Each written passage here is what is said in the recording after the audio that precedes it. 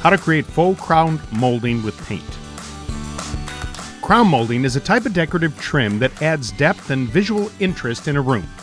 The molding, which runs along the walls of a room below the ceiling, is typically made of wood or plaster.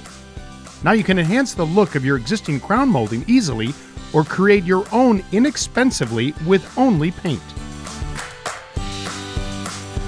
A few tools and supplies and your favorite Clark & Kensington paint colors are all you need to get the project done yourself, quickly and easily.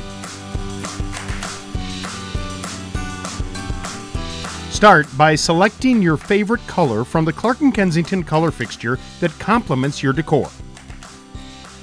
If you're working with an existing wall color, select a shade darker than the main wall color as an accent. Select a classic white as a contrasting color for your crown molding and trim. Ask to have your colors tinted in Clark & Kensington. A tintable pint sample of each color is the ideal amount for a small project like this. If you have existing crown molding and baseboards, select a narrow trim piece in the thickness of your choice to complement them. A 1 inch to a 1.5 inch trim is ideal for this type of project. Paint the trim piece with one to two coats of your favorite Clark & Kensington Classic White.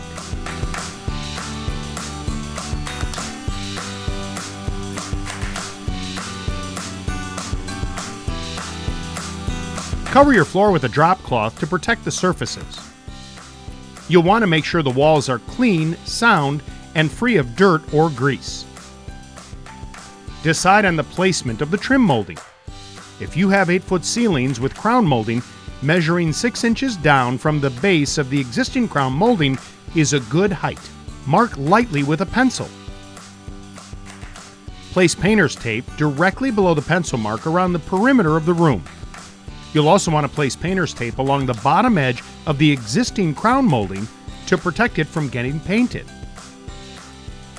To determine how much molding you'll need, measure each wall and add another 10 to 15% excess to each piece to account for waste. If you use Clark & Kensington Interior Paint and Primer in one, there's no need to prime before you paint. Pint-size color samples, tintable into any color, are available in interior satin sheen. This is a good sheen for trim. Here we have selected a darker shade of gray to complement the existing light gray wall color and white trim. Using a mini paint roller, paint the wall between the top crown molding and the painter's tape with a darker accent color. Allow to dry completely, then remove the painter's tape. Attach the painted trim piece directly over the bottom edge of the painted area using a nail gun approximately every 12 inches. Use a small level to ensure straight placement. Once all the molding is secure, use painter's putty to fill in the nail holes. Once dry, touch up the areas with your selected classic white paint. Allow to dry completely.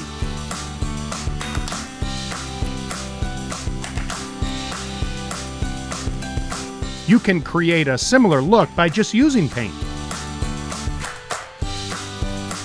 Now step back and admire your creativity. For step by step instructions, go to thepaintstudio.com.